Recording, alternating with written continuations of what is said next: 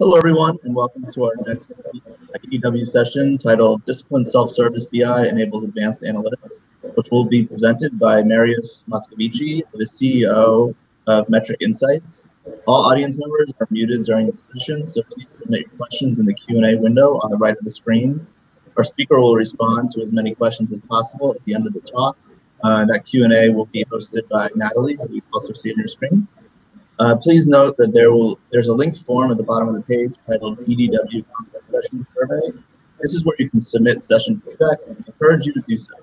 So let's begin our presentation now. Thank you and welcome, Marius. Thank you. Thank you, Jim, and uh, uh, welcome to our presentation. Uh, today, I hope to be able to go through self-service and what, what's involved in really making it successful, and, and hopefully leave you with some specific uh, examples and tips and ideas that you can implement within your environment, irrespective of what technologies or, or processes you choose to use. Uh, so let's start with talking about what self-service is. And obviously, kind of intuitively, right? In the enterprise, you've achieved self-service if you as a consumer of information can get to that information without having an intermediary in, in, in between you and the information.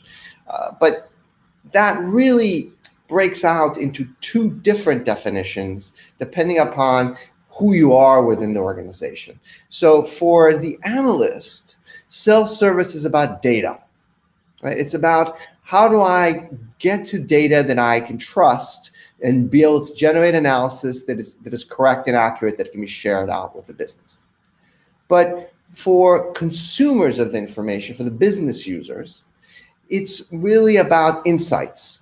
It's about how do I find the answer to my question uh, in such a way that I can, you know, find the right dashboard, find the right, right report, get my my question answered, and not have to go and bother an analyst to be able to to to go dig and figure this out for me. So that it's important to think about the fact that it, there are these different constituencies, and for each of them, self-service means something very different. So let's break that down a little further. If you think about your business users and the challenges that they have with self-service, the biggest issue they typically have is the fact that they're overwhelmed by a whole slew of irrelevant dashboards and reports. Right? If you go in, inside of almost any mature BI environment, there are lots of reports, multiple BI tools, uh, and then even within a given BI tool, there are often two or three or four versions of something. What's, some things are obsolete, some things are current, some things have correct business definitions, some do not.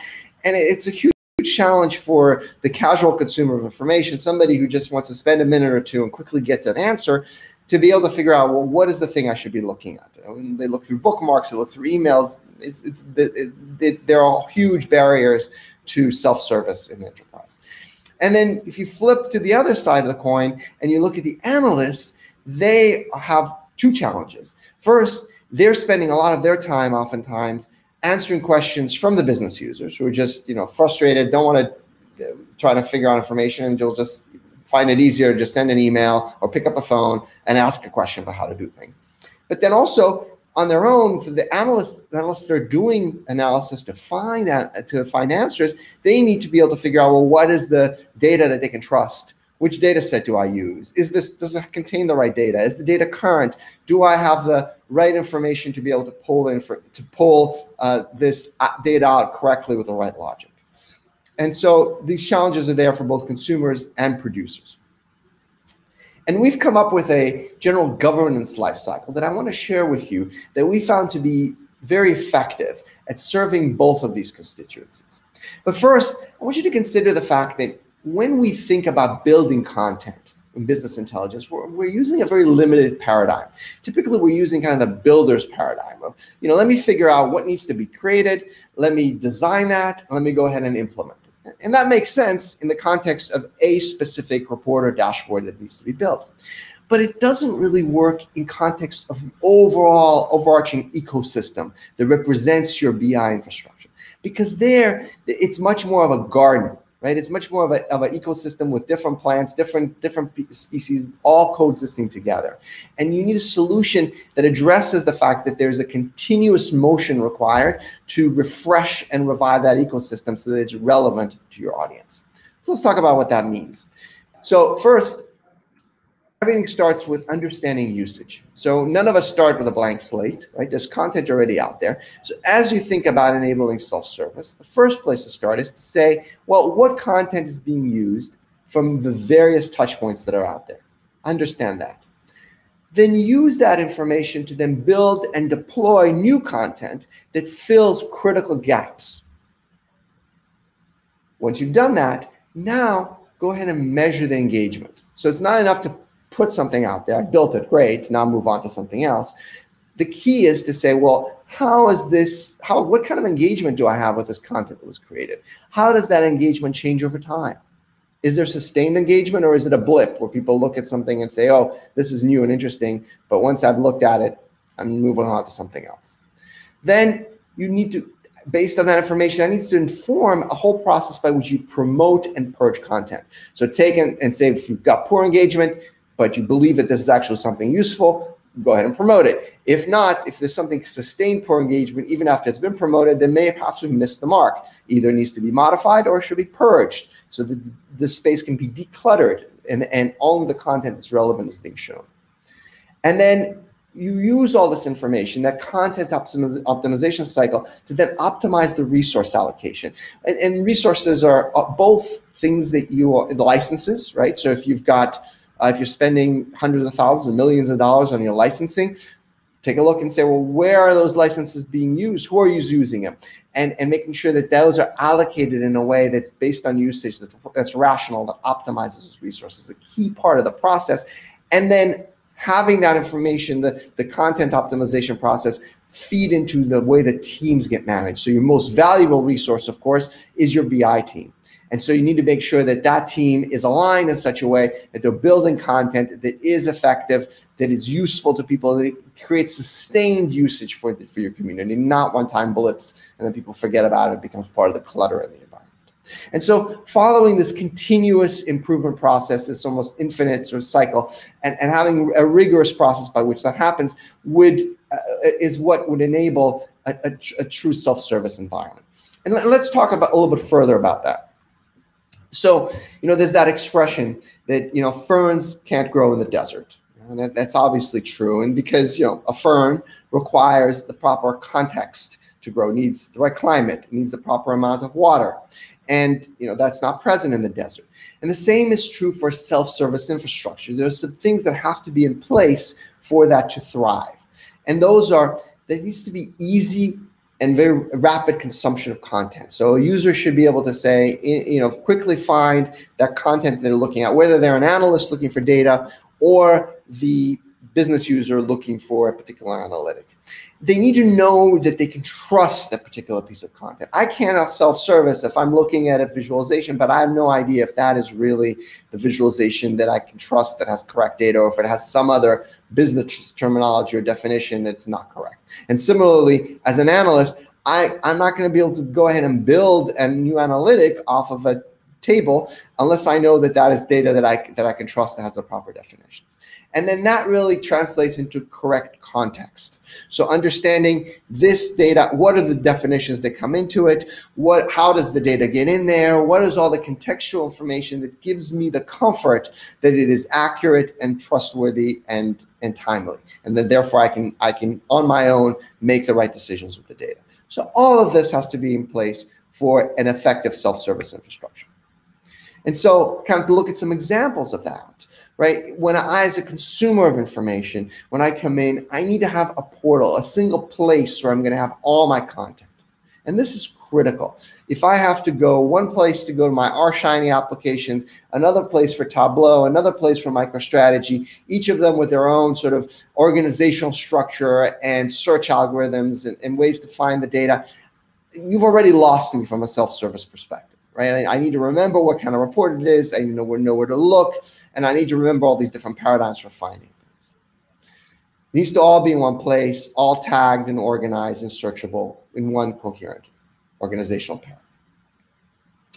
It also needs to be possible for me as a user to come in and go from a low fidelity to a higher fidelity view in a progressive manner. So having the ability to have previews is, is really important. Uh, I might have a kind of initially I see a list of things, maybe some small number of visualizations, small thumbnails. Then I need to be able to quickly transition to to be able to see a larger visualization, see contextual information that tells me, you know, if uh, who are the owners of the particular piece of content, uh, what are the who are the data data steward, the the technical owner, the business owner, if there's tagging associated with, does this contain PII information, what is the data classification, all those things need to be available contextually right there for me to be able to use. That information, for it to be useful, needs to be published in such a way where there is governance around it and there's a proper certification workflow for it. Right? So it doesn't just magically show up in the ecosystem useful. It has, you know, in order for it to be to, to get there with the right tagging, with the right information and documentation and certification, there needs to be a process by which we can move things through the various stages to get it certified. And that that's not a one size fits all solution. It's going to vary based on the type of content that you have. It could be as simple as an engineer creating a piece of content, publishing it, and then uh, you know authority, a, a business stakeholder certifying that is correct or it could be something that is multi-stage where you say you know it's going to be a it's going to be reviewed by a data steward or data stewardship team and move through various stages of certification before it's published and available uh, to the business users. And, and so whatever that the right process is for that particular piece of content it needs to be followed such that then you know that it's been promoted in a way that it, that supports effective discovery and then all of that tagging and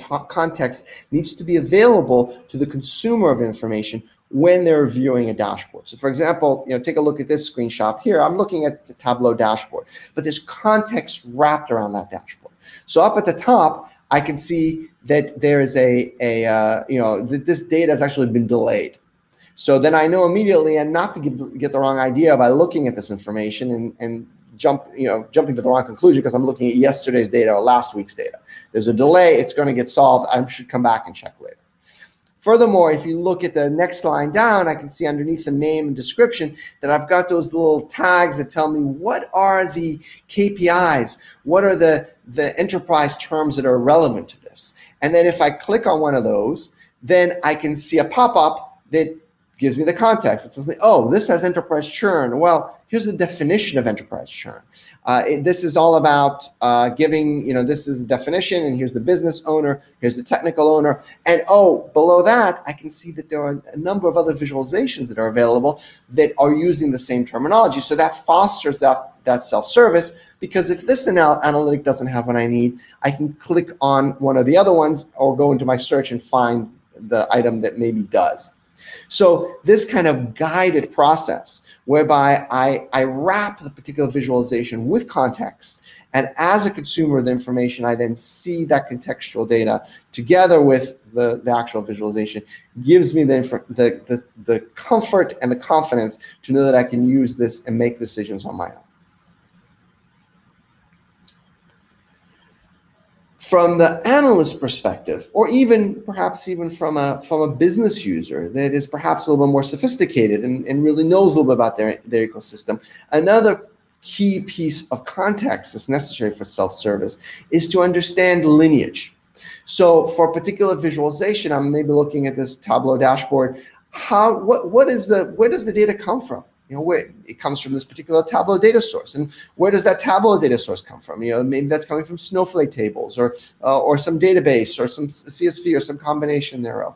So understanding when I'm going to consume something, where that information comes from is incredibly useful because, you know, if I'm consuming data, maybe this dashboard is coming directly from Salesforce, I know that I'm looking at raw data. I'm looking at information that's being collected directly to my CRM. But if it's coming from my enterprise data warehouse, well, if it's coming from my cleansed area, then I know that there's a whole bunch of cleanup that's been done, and this is data standardized and has gone through some data quality. If it's coming from some raw area of the system, then I know that perhaps it's more un unfiltered raw data. And, and that, that context will tell me how to use the information, which then enables the proper level of data discovery. The other uh, aspect of self-service from an analyst perspective is that I need to be able to discover the data sets themselves. And to find a data set, it's not just about, you know, here's the name of the data, here's the columns in the data. I need to know what are the analytics that are used by that, but is it certified? Who are the owners for that data set? Who do I go to ask a question if I do need to figure out something about the data. What for those columns? What it, what are the specific KPIs that those measure? So, oh, I see a column in here. This is measuring enterprise churn. I should be able to, again go back and see that definition. Now I know from an analyst perspective that I can use this particular data set for my analysis because it has the definition that's relevant to my analysis. So all of this has to be all leveraged together and consolidated into some kind of a view that's accessible to me as an analyst so that I can use that information to make sure that a particular analytic is the one that I need. So I want you to think for a moment, I mean, if you can go back this far to pre-pandemic times, when you might be, have been going into the office and working on perhaps you, you are someone who builds analytics uh, and reports. And and consider for a moment that you know what that experience the serendipity that would happen in our day-to-day experience working around the office. You know perhaps you would go and you're working on a particular analysis and then you'd go to take a break to get a cup of coffee and in the breakout room uh, you'd run into joe another analyst and you know you strike up a conversation and you mention to joe what you're working on and, and joe would say oh you know I, I i was just talking to alice the other day and she has an analysis just like this that she created last year you might want to check with her and see if what she's created has built is actually useful to you. And and you'd go and you know follow up with Alice, and sure enough, she's built something. And that that coffee break that you took saved you a day of work because you didn't have to go recreate the wheel. And not only that, but the fact that you stumbled across something that's already useful, well, that saved the end user from having two objects out there that six months from now they have to figure out, well, which analysis do I go with, right? There isn't dupl duplication of content because of that serendipity. So one of the key things that as you build out a data discovery platform for your users, you want to think about how do you generate serendipity by design? How do you avoid the duplication of effort of content that happens so often when people build, you know, three or four similar versions of the same thing, creating a, and make it impossible for an anal for, for anybody other than the analyst to figure out who should use a particular piece of content to get a question. And, and making sure that then the business users stumble across that content as they need to find the information. So in other words, that it's not something that, oh, I have this in some data governance tool or in some wiki page somewhere that somebody has to go look for it. But because you know people are in the stream of consciousness, that they're going through their workflow, they're going through the day-to-day -day process of doing their work. It has to be that they find these things through that process, through that regular workflow naturally. And that's and if you can build that serendipity by design to system, then in, implicitly you are fostering a, sense of, of, governance and a sense of data discovery. So take a look at that as an example. You know, you need to have a, a universal search engine built or and deployed across all of your analytics. So irrespective of the type of content that the user should be looking at, there needs to be a place where they can find that content. And it needs to be more than here's a SharePoint site with a bunch of links, right? Because that's just overwhelming. I need to be able to go in and search for something and then by in the process of that search just discover other content. You know whether that that content is things that are that are maybe tagged by the same thing. Uh, find that there's you know different types of objects that i have. Uh, i should be able to search by by by um, popularity right? Because if there's something that's more popular, clearly that's going to provide uh, uh, potentially more useful information. So as a consumer of information, I should be able to find that. And, and, and all that needs to be available and accessible in the search paradigm that I'd be using to be able to find the information that I want um, so that I can discover content. And then furthermore, I need to be able to have a class of content available that is discoverable even if I do not have access to it right? If you think about the, the types of content that you might have in your enterprise, there's obviously the things that everyone, that a particular user has access to. They should just be able to find it and use it easily.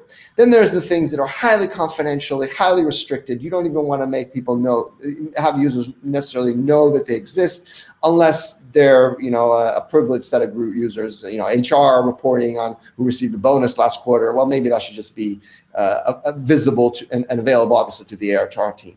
But then there's this vast set of content in between where it's not going to be open to everyone. It's going to be accessible to a specific set of people because there's security. They should govern it properly. However, you want to make it discoverable. You because let's face it, when we when we create a piece of content and we assign it to a group of users, sometimes we're not perfect about what that access control should be. Maybe there's another ancillary group of users that would be interested in it, but I'm not sure if I should give them access to it, so I don't. And then if those users are not aware of that and cannot discover that content, then they're going to go and ask analysts to create it. So, and then there'll be duplicative content created.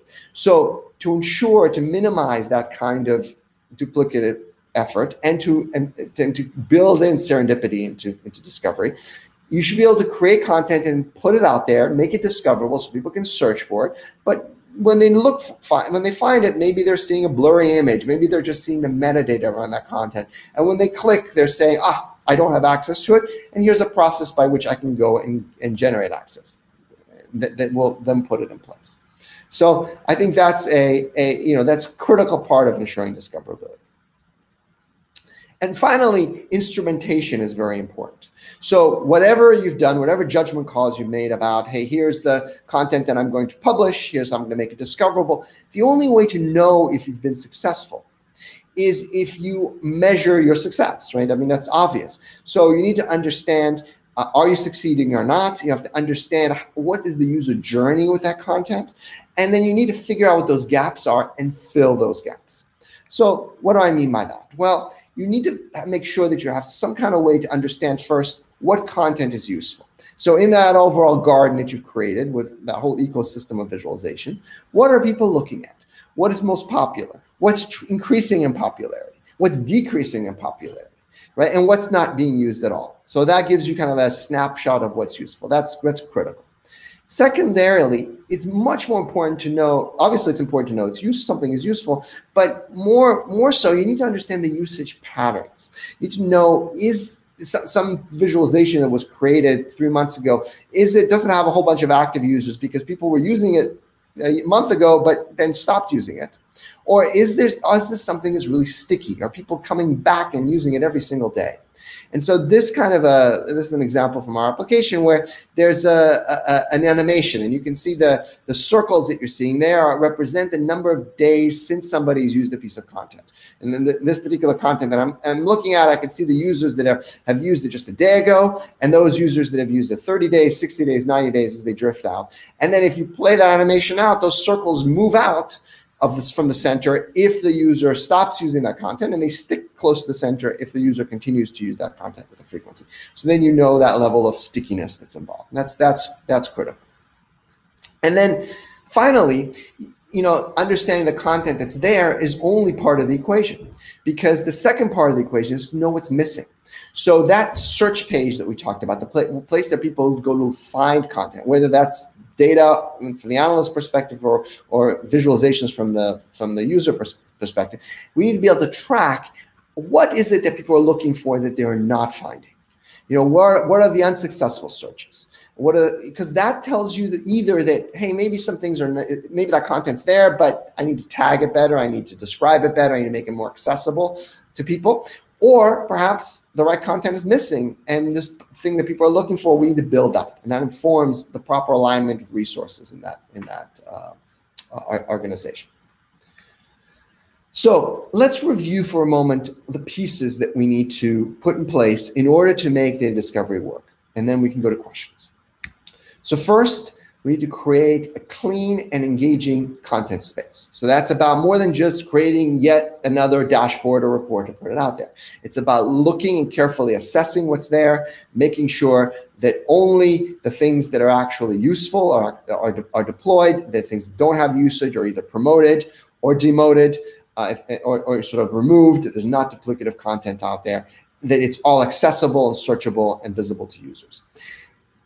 Then we need to make sure that there's a certification or lineage process where, whereby you can, as a user, when I discover content, I know what is certified, what can be trusted, and where does this data come from, and, and, and so that I have the proper context for making decisions about how to use it. I then need to be able to make sure that the environment balances security and discoverability. So it can't just be about locking everything up. It needs to be about, of course, completely securing your data and making sure that things that are, should not be discoverable are not, but that things that can be discoverable are enabled so that users can have those serendipitous moments where they go, oh, look at that. Somebody already created that analysis. Let me go in there and take a look at that, and they'll have my answers. And then finally, there has to be a monitoring and usage analysis component that has been built in such that you can then iterate in the cycle because nobody's going to be perfect in their implement, initial implementation. You need to be able to have processes in place where every month you evaluate what's going right, what's not, and then iterate through the process. So with that, let's open up the question to Q&A. Hi, yes, we do have a couple of questions from the audience uh, and just about five minutes left in our session. The first question is, um, is the tagging and linking of visualizations automated or does it need to be done manually in your tool? Well, that's a great question. And I just forgot to mention one thing before I answer that question. Um, if you're interested in any of these, um, uh, it, we have created a resource for you that summarizes, that uh, provides a lot of this information um, shared in here, as long as a lot of other useful information was created by the institute, uh, the IIA, the, the uh, International Institute for Analytics. Um, and we, we collabor- collaborated with them on that, and it, and it really talks about a overall framework for establishing a, a self-service program. So uh, feel free, if there's a URL there for our website, so anybody that wants to kind of just check it out um, and you know have a more material around self-service and how to achieve it within the enterprise, I invite you to go ahead and download that. Um, so going back to your question around tagging, uh, to enable discovery. There are two ways in which that can be done, or, or multiple ways. Um, that information can either be inherited from the BI tool. So when, when for us, when we onboard a visualization from a, from the, for let's say from Tableau, we can bring in the tags that have been set in Tableau directly into the portal, so it's they're available for search and inclusion. It can be set up within Metric Insights, so somebody can come in and manually set those up and uh, and uh, uh, as as part of the process in which the governance process in which content is onboarded.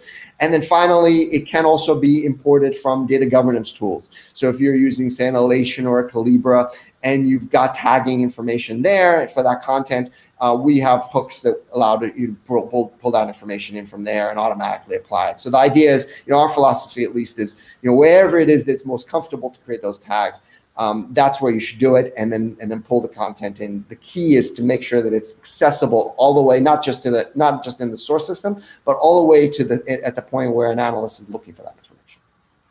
Thank you. We have another question. Um, if we build so much governance infrastructure for self-service such as dataset discovery certification workflows lineage etc is there still a need to promote the dataset to a production platform managed by it with slas etc well, I, I think those are kind of, I mean, it's, it's a great question. And I think that the governance infrastructure, it's not necessarily, you know, how it gets implemented in organizations is vastly different. Oftentimes for proper governance infrastructure, there is some IT or central group that helps set the standards and processes, and then they're managed and supported by the business units uh, so that the business units are actually making the day-to-day decisions about what is what is available and what is not.